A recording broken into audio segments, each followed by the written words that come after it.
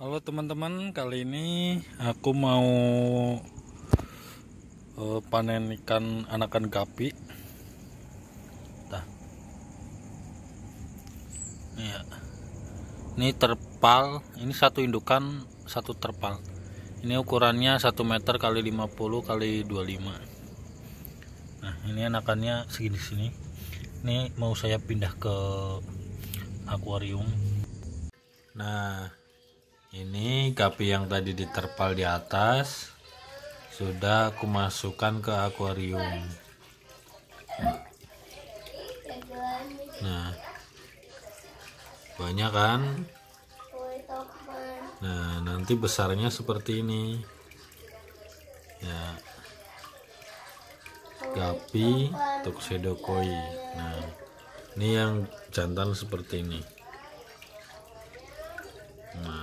Nah, itu ya. Mantap kan?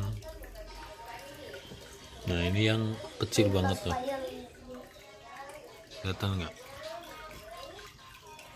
Oh, masih kecil banget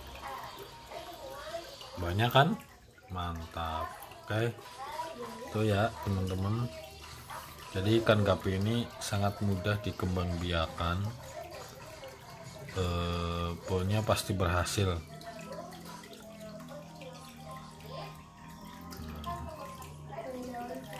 oke itu dulu ya teman-teman.